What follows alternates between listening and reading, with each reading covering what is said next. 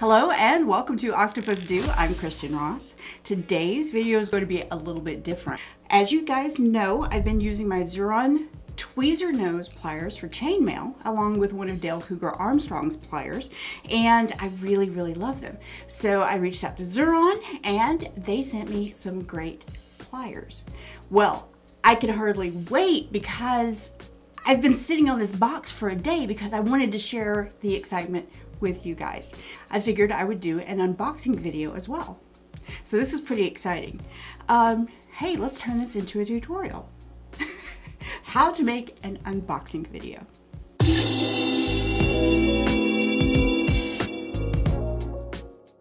Okay, the first thing that you need is a box, obviously. So I've got my box and let's see, you need something to open the box with. So um, a knife right here. And uh, I happen to also have some coffee. That's optional. So I have my multi-tools, so I can't wait to see. This is so exciting. I love getting new tools. I always say you have to have the right tools for the job. All right, so I'm going to open this up. Be very careful not to put the knife all the way down into the package. Like you guys have never opened a box before. Ooh. Okay. Okay, now, let's see.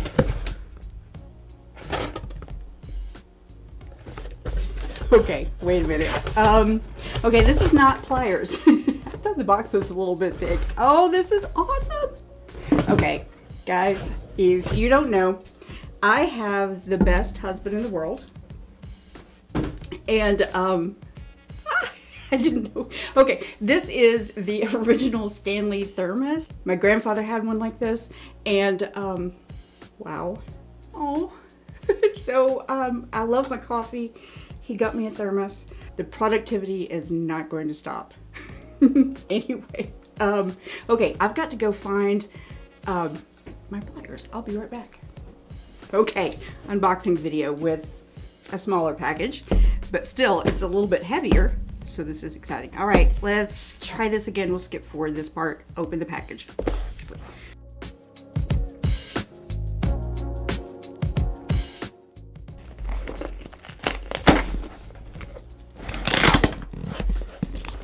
That's some serious packing. Okay, these are nice and safe tools. Oh my Oh my goodness. Uh, wow, okay. A little extra packing there to make sure everything is nice and secure. Oh, wow, look at that. I had no idea. This is so exciting. Okay, I have uh, the 4-in-1 crimper here. Let's see. Set that there. Uh, oh, I have goosebumps here. Oh, oh, my goodness, look at this. I have goosebumps. okay, um, the Kevlar fiber shears. Oh my goodness. I'm going to put links to all of this for you, so don't worry. A tweezer nose pliers smooth, number 450. Number 483. I have goosebumps on my calves now. Um, okay, it doesn't have the label on this one, but we'll open it up and see what it is. Chisel nose pliers. I have been waiting for this. I remember when these were made. I was at the Bead and Button show and uh, I saw a flyer for it. Oh my goodness, I couldn't wait. Short nose smooth plier. Okay. Uh, high tension scissors, number 440.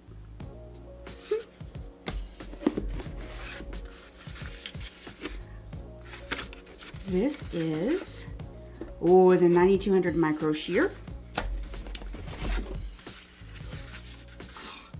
The Maxi Shear Flush Cutter. I can't wait to get into talking about these shear cutters. Oh my goodness. Um, let's see. The Micro Shear 9100F. Okay. music wire shear. Oh, wow. I hadn't even heard of this one. Okay, this is exciting. Long flat nose plier, number 485. Ooh, there's another one. Ooh, a micro shear, number 410. Ooh, okay. All right, and then more packing, obviously, to make sure nothing slides around in there. This little box held such a big treasure. This is exciting. Okay, and packaging here, information, a flyer, uh, Xuron Corp, essential tools for jewelry making, made in the USA. I knew this. This is important. This is very cool. I love supporting home-based businesses. Ah, wow. The micro shear flush cutter, it tells you a little bit about each one. Ashley. This is my friend Ashley. I got to meet her when I worked at Jewelry Television and she came on. She was a guest. This was pretty exciting. And then they have a YouTube video, uh, Xuron Corp. So I'll get you that information as well. Wow, this is a lot of information to digest. As I learn more about these, I will share more about these. I will do some uh, videos just on the different ones because I tell you what, I've had uh, a chance to play with a lot of the Xuron pliers through my experience at Jewelry Television and meeting Ashley and so I've used them and I know that they're good tools. Um, but to have a chance to actually work with them in all of my jewelry making, um, this is just exciting. And one of the things that I know that they really focus on is us chain mailers. And that's really what I'm, I'm very, very excited about because us jewelry makers, us chainmail jewelry makers, we love our precision pliers. So, uh, wow, let's play with some of these. Oh, all right. Let's see.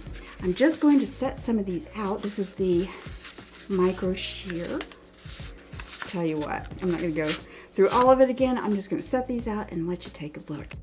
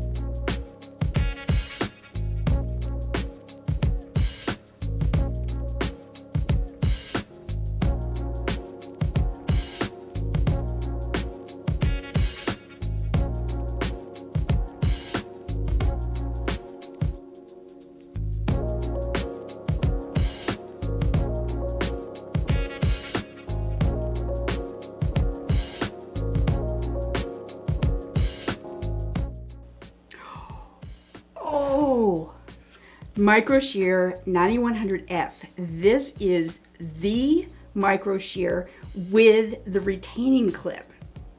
Oh, I can't wait to show you how these work. So basically what happens with these guys is you cut a piece and it holds onto the wire. I'll have to show you all about that so that um, it doesn't flip all over the place. I've got a funny story about that. Maxi Shear Flush Cutters. Now, I've been using this one for years. So this is great for your larger gauge wires like your copper and things like that. When you're riveting, these are so handy.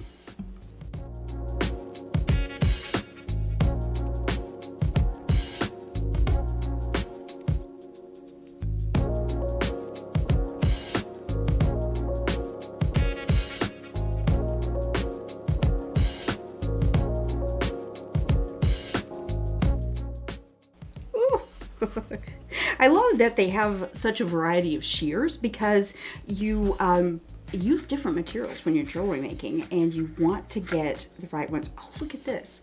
All right, this is the uh, scissor and it came with this little cardboard insert so it's not going to poke out and um, destroy any packaging. Now this is great and you say why a scissors in uh, a little blade like this? You're going to cut your wildfire, your fire line, different things like that that really need a sharp, strong blade. Because if you try to cut your fire line or your wildfire with a dull pair of scissors, you're just going to be chewing it up. And uh, that's never good. Short nose pliers smooth. Ooh. Oh, wow. Oh, I'm going to be using these for all of my chainmail.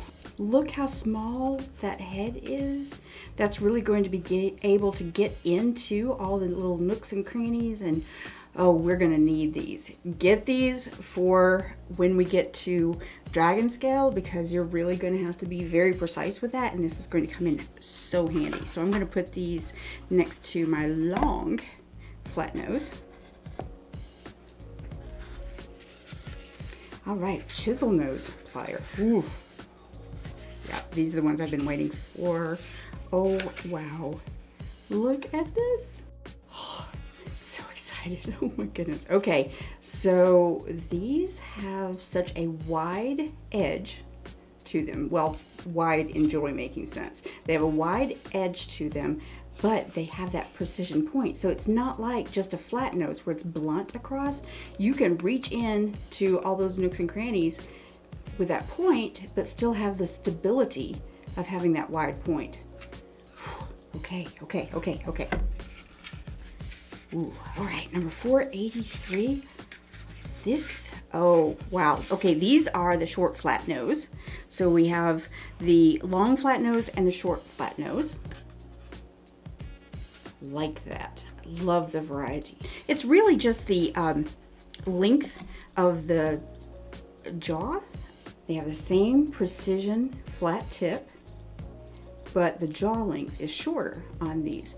And when making chainmail, I really, really like the shorter jaw on that because um, the fulcrum basically the distance from that hinge to the tip of the pliers is shorter. And what that does is means that your hand doesn't have to travel as far to get that opening and closing movement. That's really cool. So long flat and short flat. So I'll move those right next to each other. All right, what do we have next? Oh, okay, the tweezer nose pliers. These are the ones that I've been using for all of the videos. Oh yeah. Okay, so this is very, very precise. It's basically, it's your long nose plier like we just saw, but it's a very, very narrow nose. Here's the flat nose, long flat nose, and the tweezer nose so you can see the difference. That is precision. Put those down and put the tweezer nose right here. Okay, last one, last one. Um, oh, Kevlar fiber shears. Oh, yeah. Okay. Um, I'm going to do some more research to find out the difference of when to use these and the re regular shears, but these are beefy. Oh my goodness. Look at this. Okay, that is just cool. All right, so here are the regular scissor shears and here are the Kevlar. Wow, I can't wait to get into what I can make with these. Oh, all of these have really good springs. That's one thing, thing I really, really, really love about the uh, Xuron brand is because I think it's important to have a spring in your pliers. And that's just for your own use of um, your own muscles and, and tendons and ligaments to make sure that you don't hurt yourself when you're making jewelry. So you squeeze and the spring opens it back up. So you're not putting undue pressure on your hands to open. Use your hands to open it back up. That's why um, a pair of scissors that you do have to use, set this down, pair of scissors that you do have to use to open and close, you're doing this. So there's no spring and that outward motion, it's good exercise, but it could wear on you if you're doing jewelry making for a long amount of time. So it's always good to have the proper tools. Wow, oh my good, I'm, whew, this is exciting. Okay, so, wow, my tool collection just got a big boost and I'm so excited about this. Look at my plier rack. wow. Thank you, Xuron. This is really exciting. Wow. Okay.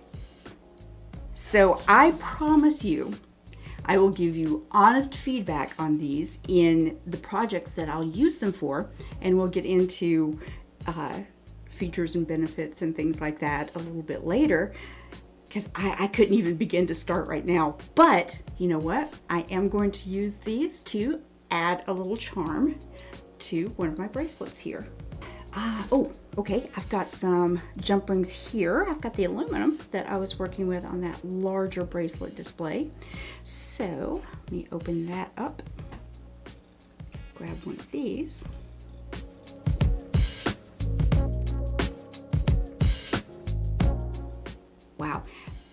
I noticed that with this chisel point, it's not just the point. There's not just like a little area that you work with. You can use the entire inside of the jaw because it's a straight line. So even though I could come in here with just the edge, I can use that whole jaw line here as a, a, grabbing surface basically. Same thing with the small. So I just turn open that up, grab my little charm, my little Buddha head there. There we go.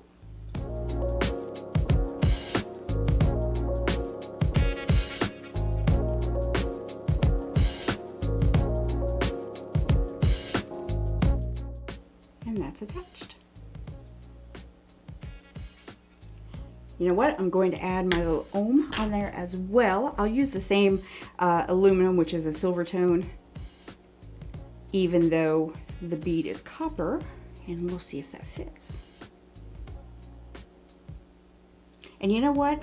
Even though these are new pliers to me, I'm no longer even thinking about them. They're so easy to use and so natural in my hands. There we go. So now I have two little charms. And that's also, I think, a sign of a good pair of pliers, is the fact they're so easy to use and so easy to hang on to. I'm pretty happy with this.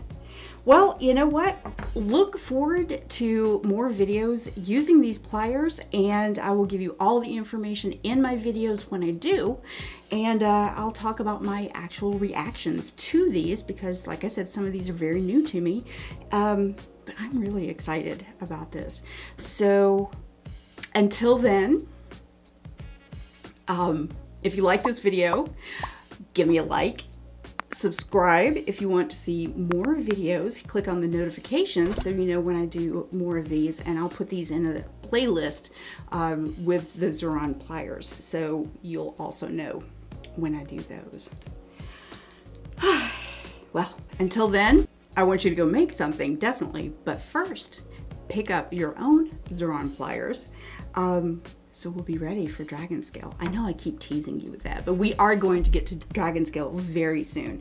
Brush up on your European 4-in-1 and we'll get there. Until next time, see you later.